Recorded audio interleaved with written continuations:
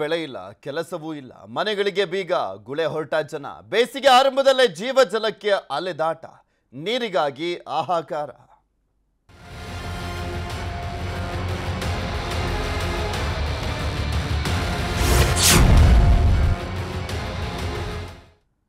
ಕರ್ನಾಟಕದಲ್ಲಿ ಬರ ಆವರಿಸಿದೆ. ಸಾಕಷ್ಟು ಕಡೆ ನೀರಿಗೋಸ್ಕರ ಆಹಾಕಾರ ಇರುವಂಥದ್ದು. ಕುಡಿಯುವ ನೀರಿಗೂ ಕೂಡ ತತ್ವಾರ ಶುರುವಾಗಿದೆ. ಕೊಪ್ಪಳದಲ್ಲೂ ಬರದಿಂದ ಜನರಿಗೆ ಸಂಕಷ್ಟ ಎದುರಾಗಿದೆ. ಮಳೆಯೂ ಇಲ್ಲ, ಬೆಳೆಯೂ ಇಲ್ಲದೆ ಸಂಕಷ್ಟ ಎದುರಿಸ್ತಾ ಇದ್ದಾರೆ. ಉದ್ಯೋಗವಿಲ್ಲದೆ ಗುಳೆ ಹೊಟ್ಟಿದ್ದಾರೆ ಜನರು. ಯಾಕೆ ಉದ್ಯೋಗ ಇಲ್ಲ ಅಂದರೆ ನರೇಗದ ಅಡಿಯಲ್ಲಿ ಇದೆ. ಆದರೆ ಆಲ್ಮೋಸ್ಟು ಆ ಒಂದು ನರೇಗದ ಅಡಿಯಲ್ಲಿ ನೂರು ದಿನ ಪೂರೈಸ್ಬಿಟ್ಟಿದ್ದಾರೆ. ಬರಗಾಲ ಅಂತ ಬಂದಾಗ ನೂರೈವತ್ತು ದಿನಕ್ಕೆ ಹೆಚ್ಚಿಗೆ ಮಾಡಬೇಕು. ಆದರೆ ಕೇಂದ್ರ ಸರ್ಕಾರ ಮಾಡ್ತಾ ಇಲ್ಲ. ಈ ಕಡೆ ತಿರುಗೂ ನೋಡ್ತಾ ಇಲ್ಲ ಈ ಕೇಂದ್ರ ಸರ್ಕಾರ. ತಿರುಗಿ ನೋಡದಲ್ಲಿರುವಂಥ ಕಾರಣಕ್ಕೋಸ್ಕರ ಸಾಕಷ್ಟು ಕಡೆ ಈ ನರೇಗದ ಉದ್ಯೋಗ ಸಿಗದಂಥ ಹಿನ್ನೆಲೆಯಲ್ಲಿ ಬೇರೆ ಕಡೆ ಹೋಗ್ತಾ ಇದ್ದಾರೆ. ಉದ್ಯೋಗ ನೀಡಿ ಅಂದ್ರೂ ಕೂಡ ಸಿಗ್ತಾ ಇಲ್ಲ ಉದ್ಯೋಗ. ನರೇಗಾ ಯೋಜನೆಯಲ್ಲೂ ಕೂಡ ಸಿಗ್ತಾ ಇಲ್ಲ ಉದ್ಯೋಗ. ಮನೆಗಳಿಗೆ ಬೀಗ ಹಾಕಿ ಗುಳೆ ಹೊಟ್ಟಂಥ ಜನರು. ಕೇಂದ್ರ ಸರ್ಕಾರ ಒಂದು ಸ್ವಲ್ಪ ತಿರುಗಿ ನೋಡಬೇಕು ಈ ಕಡೆ ಕರ್ನಾಟಕದಲ್ಲಿ. ಹೇಗಿದೆ ಪರಿಸ್ಥಿತಿ ಅನ್ನುವಂಥದ್ದನ್ನು. ಸೈಲೆಂಟಾಗಿ ಕುತ್ಕೊಂಡ್ಬಿಡೋದಲ್ಲ ಅಲ್ಲಿ. ನೂರು ದಿನಗಳ ಕೆಲಸ ಮುಗಿದೋಗಿ ದೊಡ್ಡ ದೊಡ್ಡ ನಗರಗಳಿಗೆ ಸಾವಿರಾರು ಗಟ್ಟಲೆ ಕೂಲಿಕಾರರು ಇವತ್ತು ಗುಳಿ ಹೋಗ್ತಾ ಇರುವಂಥದ್ದನ್ನು ನೋಡ್ತೀವಿ. ಇವತ್ತು ರಾಜ್ಯ ಸರ್ಕಾರ, ಕೇಂದ್ರ ಸರ್ಕಾರಕ್ಕೆ ಬರಗಾಲ, ವಿಪರೀತ ಬರಗಾಲ ಇದೆ ಕರ್ನಾಟಕ ರಾಜ್ಯ ಅಂತೇಳಿ.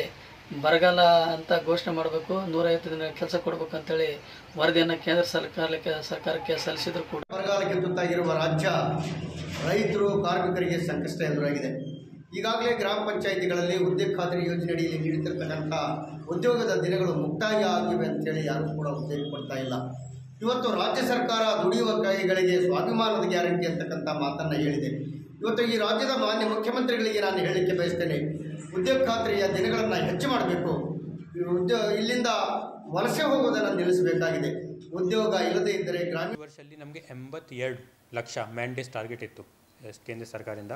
ಸೊ ಇಲ್ಲಿವರೆಗೂ ನಾವು ತೊಂಬತ್ತ್ಮೂರು ಲಕ್ಷ ಮ್ಯಾಂಡೇಸ್ ಟಾರ್ಗೆಟ್ ನಾವು ಮಾಡಿದ್ದೀವಿ. ನಮ್ಮ ಪರ್ಸೆಂಟ್ ಏನಿದೆ?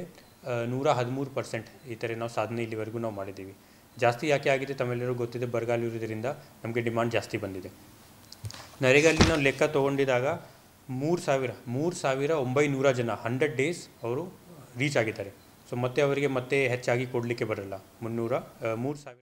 ತುಮಕೂರು ಬಿಜೆಪಿ ಟಿಕೆಟ್ ವಿ ಸೋಮಣ್ಣಗೆ ಫಿಕ್ಸ್ ಆಗಿದೆಯಾ ಅನ್ನುವಂಥ ಪ್ರಶ್ನೆ ಇವತ್ತು ಸಂಜೆ ಮೇ ಬಿ ಉತ್ತರ ಸಿಗುವಂಥ ಚಾನ್ಸಸ್ ಇದೆ. ಈ ಸಂದರ್ಭದಲ್ಲಿ ಸೋಮಣ್ಣ ಉತ್ತರ ಮಾತಾಡಿರುವಂಥದ್ದು ತುಮಕೂರಿಗೂ ನನಗೂ ಐವತ್ತು ವರ್ಷದ ಸಂಬಂಧ ಇದೆ. ತುಮಕೂರಿನಲ್ಲಿ ನಂದೇ ಆದಂಥ ನೆಟ್ವರ್ಕ್ ಇದೆ ಅಂತ ಹೇಳಿದ್ದಾರೆ ಸೋಮಣ್ಣ. ಯಡಿಯೂರಪ್ಪ, ವಿಜೇಂದ್ರ ಬಂದ ಮೇಲೆ ಮಾತಾಡ್ತೀನಿ. ಇದುವರೆಗೂ ಎಲೆಕ್ಷನ್ಗೆ ತಯಾರಿಯನ್ನ ಮಾಡ್ಕೊಂಡಿಲ್ಲ ಅಂತ ಹೇಳಿದ್ರು. ಟಿಕೆಟ್ ವಿಚಾರ ಇನ್ನೂ ಏನೇನಾಗಿದೆಯೋ ಗೊತ್ತಿಲ್ಲ ಅಂತ ಹೇಳಿದ್ದಾರೆ ಸೋಮಣ್ಣ.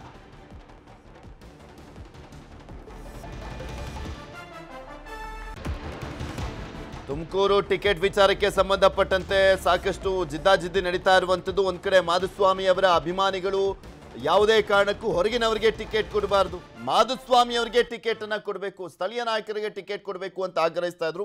ಈ ಸಂದರ್ಭದಲ್ಲಿ ಸೋಮಣ್ಣ ಅವರಿಗೆ ಟಿಕೆಟ್ ಫಿಕ್ಸ್ ಅಂತ ಹೇಳಲಾಗ್ತಾ ಇದೆ. ಅವ್ರು ಮಾತನಾಡಿದ್ದಾರೆ. ನೋಡೋಣ. ಟಿಕೆಟ್ ಕೂಡ ಬಹುತೇಕ ನಿಮ್ಮ ಹೆಸರು ಫೈನಲ್ ಆಗಿ. ನನಗೂ ಅಂತ ಮಾಹಿತಿ ಇದೆ. ಯಡಿಯೂರಪ್ಪನವರು ಮತ್ತು ಅವ್ರ ಮಗ ವಿಜಯೇಂದ್ರ ಬಂದ ಮೇಲೆ ಮಾತಾಡ್ತೀನಿ. ನಾನು ಈಗಾಗಲೇ ಭೇಟಿ ಕೊಟ್ಟಿದ್ರು ಮನೆಗೂ ಕೂಡ. ಚುನಾವಣಾ ತಯಾರಿ ಹೇಗೆ ನಡೀತಾ ಇದೆ ಸರ್? ಯಾರಿಗೆ ನಾನು ಇವತ್ತವರೆಗೂ ತಯಾರಿನೂ ಇಲ್ಲ ತಯಾರಿನೂ ಇಲ್ಲ. ಸುಳ್ಳು ಹೇಳಬೇಕು, ನನ್ನ ಕೈಲಿ ಹೇಳೋಕ್ಕಾಗೋದಿಲ್ಲ. ನಾನು ಒಬ್ಬ ಆಕಾಂಕ್ಷಿಯಾಗಿ ಸುತ್ತಾಡಿದ್ದೀನಿ. ಇನ್ನು ಚಿಕ್ಕನಾಯಕನಹಳ್ಳಿ ಮತ್ತು ತಿಪ್ಟೂರಿಗೆ ನಾನು ಕಾಲೇ ಇಕ್ಕಿಲ್ಲ, ಗುಬ್ಬಿಗೆ. ಇನ್ನು ಐದು ಕ್ಷೇತ್ರಗಳಲ್ಲಿ ಮತ್ತು ನನ್ನದೇ ಆದಂಥ ನೆಟ್ವರ್ಕ್ ಇದೆ. ಸೊ ಅದಕ್ಕೆ ನನಗೂ ತುಮಕೂರಿಗೂ ನಲವತ್ತೈದು ಐವತ್ತು ವರ್ಷದ ಅವಿನಾಭಾವ ಸಂಬಂಧ ಇದೆ. ನನಗಿನ್ನ ಮಾಹಿತಿ ಇರೋರು ಅವರು ಇವಾಗ ಅಲ್ಲೇನಿದ್ದಾರೆ ಅವ್ರಿಗೂ ಇಲ್ಲ ನನ್ನಷ್ಟು ಮಾಹಿತಿ. ಅಷ್ಟು ಒಳಗೂ ನಾನು ಕೆಲಸ ಮಾಡಿದ್ದೀನಿ. ಸಿಂಧೂರಿ ಅಂತ ಒಬ್ಬರು ಜೊತೇನು ಐ ಎಸ್ ಆಫೀಸರ್ ಇದ್ದಾರೆ. ಫಸ್ಟ್ ಅಪಾಯಿಂಟ್ಮೆಂಟ್ ಅವ್ರದ್ದು ಅಲ್ಲೇ ನಾನು ಅವಾಗ ಉಸ್ತುವಾರಿ ಮಂತ್ರಿ. ತುಮಕೂರಿಗೆ ಸರ್? ತುಮಕೂರಿಗೆ. ಅವತ್ತೇ ಕಾಡುಗೋಲ್ರು ಎಷ್ಟಿದ್ದಾರೆ ಊರುಗೋಲ್ರು ಎಷ್ಟಿದ್ದಾರೆ ನಾಯಕರು ಎಷ್ಟಿದ್ದಾರೆ ಒ ಬಿ ಸಿನಲ್ಲಿ ಯಾವ್ಯಾವ ತನಕ ಇದೆ ಎಷ್ಟು ಜನ ಬಡತನದಲ್ಲಿದ್ದಾರೆ ಅವ್ರಿಗೆ ಯಾವ್ಯಾವ ರೀತಿ ನಾವು ಅಟ್ಲೀಸ್ಟ್ ಅವ್ರನ್ನ ಮುಖ್ಯವಾಹಿನಿಗೆ ತರೋದಕ್ಕೆ ಏನು ಮಾಡ್ಬೋದು ಅಂತ ಅನ್ನೋದನ್ನ ಅವತ್ತಿಗೆ ಸಾವಿರದ ಒಂಬೈನೂರ ತೊಂಬತ್ತಾರು ತೊಂಬತ್ತೇಳರಲ್ಲಿ ನಾನು ಅದಕ್ಕೆ ಒಂದಷ್ಟು ಸಾಕಷ್ಟು ಪರಿಣಾಮವನ್ನು ಬೀರಿದ್ದೆ. ಯಾವ ಜನ್ಮದ ಪುಣ್ಯನೋ ಏನೋ ಗೊತ್ತಿಲ್ಲ, ಗುರುಗಳ ಆಶೀರ್ವಾದ ಏನೋ ಗೊತ್ತಿಲ್ಲ. ನೋಡೋಣ, ತೀರ್ಮಾನ ಎಲ್ಲ ಆಗಿ ಅನೌನ್ಸ್ ಆದಮೇಲೆ. ಗರ್ವಾಪ್ಸಿ ಬಳಿಕ ನಾನು ಯಾವ ಕ್ಷೇತ್ರವನ್ನು ಕೂಡ ಕೇಳಿಲ್ಲ. ಯಾವ ಕ್ಷೇತ್ರ ಹೇಳಿದ್ರು ಸ್ಪರ್ಧಿಸ್ತೀನಿ ಅಂತ ಹೇಳಿದ್ರು ಮಾಜಿ ಮುಖ್ಯಮಂತ್ರಿ ಜಗದೀಶ್ ಶೆಟ್ಟರ್ ಪಕ್ಷದ ತೀರ್ಮಾನ ಅಂತಿಮ ಅಂತ ಹೇಳಿದ್ದಾರೆ ಜಗದೀಶ್ ಶೆಟ್ಟರ್ ಅಮಿತ್ ಶಾ ಅವರನ್ನ ಭೇಟಿಯಾಗ್ಲಿಕ್ಕೆ ಸ್ಪರ್ಧೆ ಕುರಿತು ಹೇಳಿ ಬಂದಿದ್ದೇವೆ. ಹುಬ್ಬಳ್ಳಿ ಧಾರವಾಡಕ್ಕೆ ಬಹಳ ಜನ ಬೆಂಬಲವನ್ನ ತೋರಿಸ್ತಾ ಇದ್ದಾರೆ. ಹಾವೇರಿ ಬೆಳಗಾವಿಯಿಂದ ನನ್ನ ಕರೀತಾ ಇದ್ದಾರೆ. ನಾನು ಯಾವ ಕ್ಷೇತ್ರದಿಂದ ಸ್ಪರ್ಧಿಸಬೇಕೆಂಬುದನ್ನ ಹೈಕಮಾಂಡ್ಗೆ ಬಿಡ್ತೇನೆ ಅಂತ ಹೇಳಿದ್ದಾರೆ ಶಟ್. ಅಮಿತ್ ಶಾ ಅವ್ರಿಗೆ, ನಡ್ಡಾ ಅವ್ರಿಗೆ ಭೇಟಿಯಾಗಿ ರೀಜಾಯ್ನ್ ಆದಮೇಲೆ ಅವತ್ತು ಅವ್ರ ಜೊತೆ ಚರ್ಚೆ ಮಾಡಿದ್ದು ಮತ್ತು ಇಲ್ಲಿ ಆಮೇಲೆ ಇಲ್ಲಿ ಬಂದಮೇಲೂ ಹುಬ್ಳಿ ಅಥವಾ ಬೆಂಗಳೂರು ಬಂದಮೇಲೆ ನಾನು ಚರ್ಚೆ ಮಾಡಿದ್ದು ಪಕ್ಷದವರು, ವರಿಷ್ಠರು ಇವತ್ತು ಜಗದೀಶ್ ಶೆಟ್ಟರು ಸ್ಪರ್ಧೆ ಮಾಡಬೇಕು ಅಂತಂದ್ರೆ ಮಾಡ್ತೀನಿ. ಇಲ್ಲಪ್ಪ ಇಲೆಕ್ಷನ್ ಕ್ಯಾಂಪೇನ್ ಮಾಡೋದ್ರೆ ಮಾಡ್ತೀನಿ ಅನ್ನೋದು ಸ್ಪಷ್ಟವಾಗಿ ಹೇಳ್ತೀನಿ.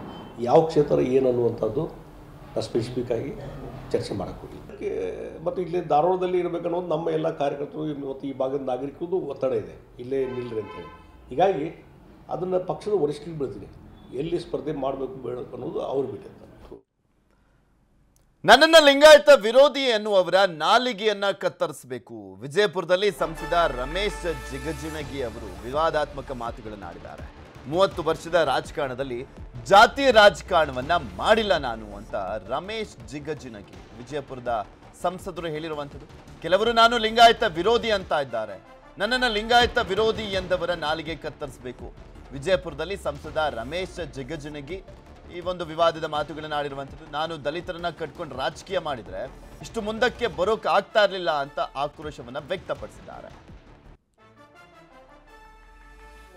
ರಮೇಶ್ ಜಿಗಜಿನಿಗೆ ಅವರು ಲಿಂಗಾಯತ ವಿರೋಧಿ ಅಂತಕ್ಕಂಥ ಭಾಷಾ ಉಪಯೋಗ ಮಾಡ್ಯಾರಲ್ಲ, ಅವ್ರ ನಾಲ್ಗಿ ಕತ್ತರಿಸ್ಬೇಕು. ದೇವ್ರು ಅವ್ರ ನಾಲ್ಗಿ ಕತ್ತರಿಸ್ಬೇಕು. ನೋಡ್ರಿ, ನನ್ನ ಜೀವನದೊಳಗೆ ನನಗೆ ಜಾತಿ ಅನ್ನೋದು ಗೊತ್ತಿಲ್ಲ. ಆ ಜಾತಿ ಅನ್ನೋದು ಗೊತ್ತಿಲ್ಲ ಅನ್ನೋದ ಕಾರಣಕ್ಕೆ ಇವತ್ತು ಸುಮಾರು ನಲವತ್ತೈದು, ಐವತ್ತು ವರ್ಷಗಳ ಕಾಲ ನನಗೆ ಜನ ಓಟ್ ಹಾಕ್ಯಾರ. ಇಲ್ಲಿ ಬಿಟ್ಟು ಹೋಗಿ ನಾ ಚಿಕ್ಕೋಡಿಗೆ ಹೋದರೂ ಕೂಡ ಅಲ್ಲಿ ಜನ ನನಗೆ ಓಟ್ ಹಾಕ್ಯಾರ.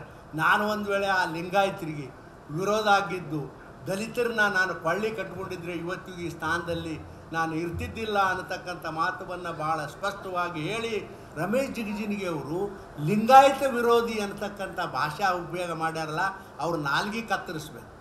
ದೇವ್ರು ಅವ್ರ ನಾಲ್ಗೆ